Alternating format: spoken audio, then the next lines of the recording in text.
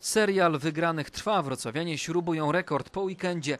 Licznik zatrzymał się na 25 zwycięstwach z rzędu. Patrząc na kalendarz spotkań, Śląsk powinien dalej wygrywać.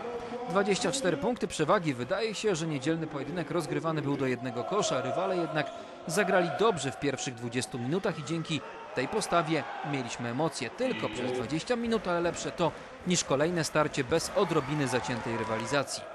Śląsk przystąpił do spotkania z Kutnem mocno zmobilizowany, mając w pamięci porażkę w półfinale Pucharu Polskiego Związku Koszykówki. Mimo skupienia w inauguracyjnych 10 minutach nie udało się uzyskać przewagi. Podobnie było w drugiej odsłonie. Goście grali bardzo dobrze zarówno w obronie, jak i ataku. Niespodziewanie do przerwy akademicy z Kutna prowadzili 42 do 40. Po przerwie Śląsk zdominował już wydarzenia na parkiecie, grał przede wszystkim o niebo lepiej w obronie. Dzięki temu mógł wyprowadzać kontry, które najczęściej kończyły się łatwymi punktami. Trzecią kwartę wrocławianie wygrali 29 do 13, czwartą 22 do 11 i nie dali AZS-owi szans. Ważnym elementem drugiej połowy była także świetna skuteczność Śląska zarówno w rzutach za dwa, jak i za trzy punkty.